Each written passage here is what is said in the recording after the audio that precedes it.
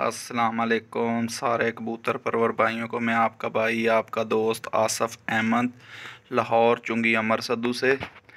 ये कबूतर परवर भाइयों के लिए एक बिल्कुल सस्ता सा नुस्खा लेके आया हूँ सर्दियों के लिए। ये चेक करें भाईजान, ये हामन दस्ते में चेक करें।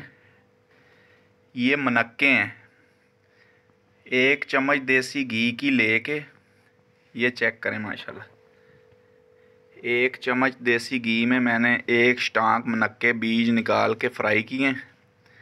जब इस हालत में हो जाए तो इसमें आपने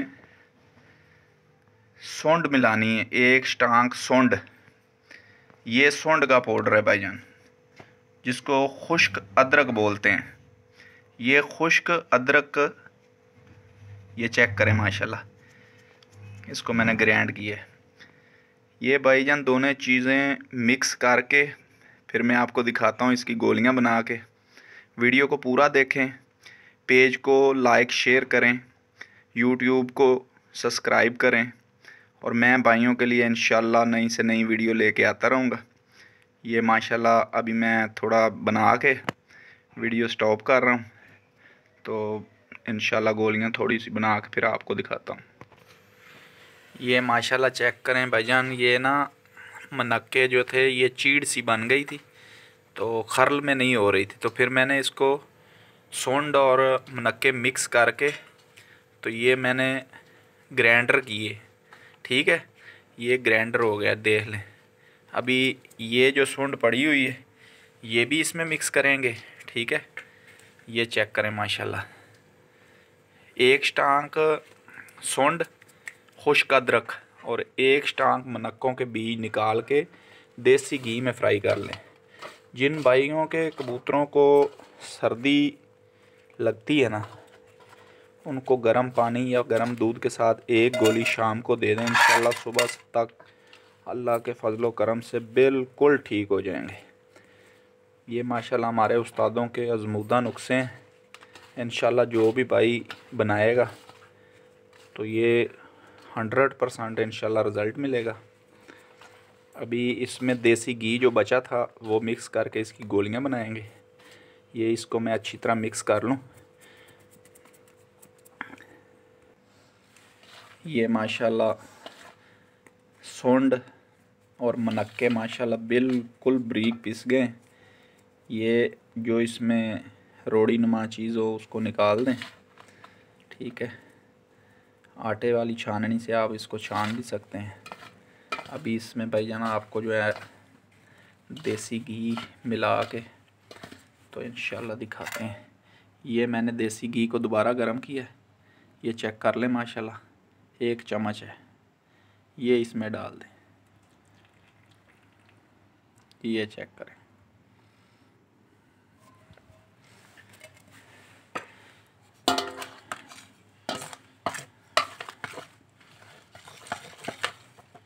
ये चेक करें माशाल्लाह। ये माशाल्लाह चेक कर लें। ये ये चेक करें। इसको आप कैप्सूल में बंद करके खाली कैप्सूल लेके उसमें काली मिर्च के बराबर डाल के कबूतर को दे के ऊपर से आप पाँच सीसी पानी गरम दे दें नीम गरम। ठीक है अगर गरम करने की जगह ना हो तो फिर आप ताज़ा पानी भी दे सकते हैं। ठीक है भाईजान। ये माशाल्लाह मिक्सर तैयार हो गया इसका। अब भी इसमें आप शहद भी मिला सकते हैं गोली बनाने के लिए। शहद भी मिला लें इसमें। अगर छोटी मक्खी का शहद आपको मिल जाए तो मिला लें। ये चेक करें। अभी मैं इसमें थोड़ा घी और डालूँगा, फिर आप भाइयों को दिखाता हूँ। ये माशाल्लाह चेक करें। ये तैयार हो गया। अभी छोटे ज़ीरो नंबर कैप्सूल लें, उसमें काली मिर्च के बराबर डाल के तो आप ये इस्तेमाल करवा सकते हैं कबूतरों को।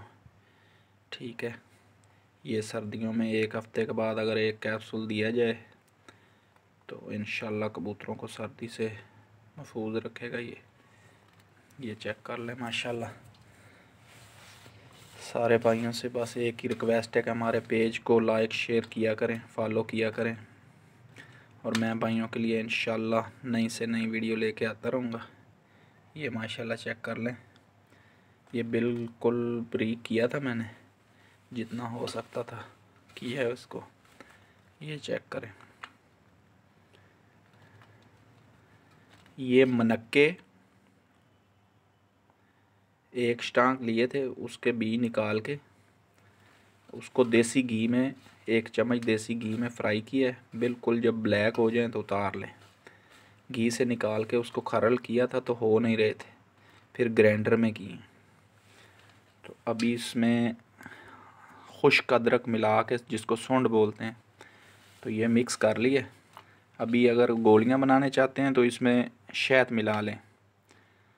एक चम्मच शहद मिला के गोलियाँ बना लें, काली मिर्च के बराबर।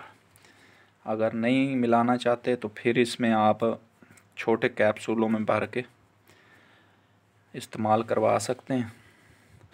नई वीडियो इन जैसे जैसे भाइयों को ज़रूरत पड़ेगी, मौसम चेंज होगा तो नई नई वीडियो आती रहेगी इन तब तक के लिए मुझे दें इजाज़त। अल्लाह हाफिज़।